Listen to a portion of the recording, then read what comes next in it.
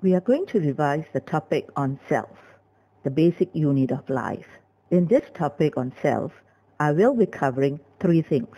Firstly, label the parts of the plant and animal cell. Secondly, state the functions of each part of the cell.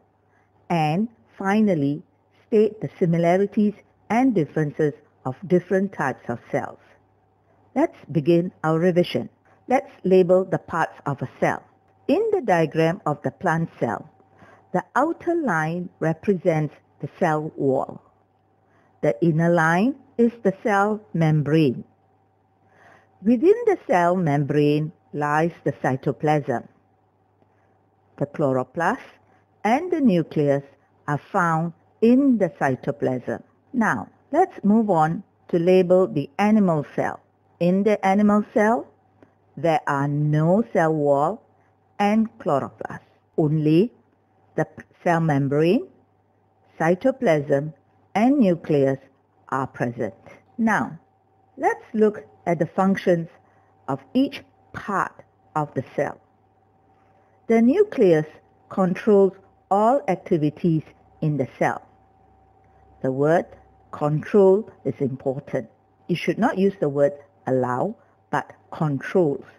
So remember, the nucleus controls all activities in the cell.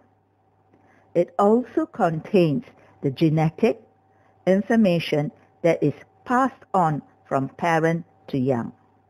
If you do not want to use the word genetic, you can also use the word hereditary. Next, the cell membrane controls the movement of substances in and out of a cell.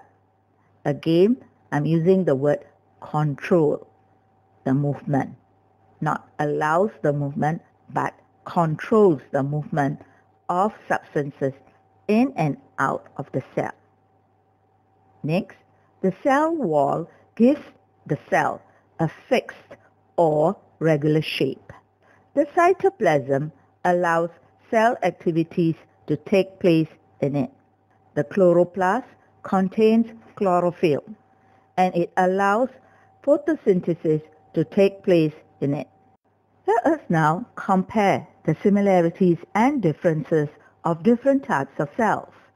Here we are looking at the leaf and the root cells that are plant cells and the cheek cell that is the animal cell. All plant and animal cells have three common parts, the nucleus, cytoplasm, and cell membrane. What are the differences between plant and animal cells? Well, all plant cells, whether it is the leaf cell or the root cell, they all have cell wall.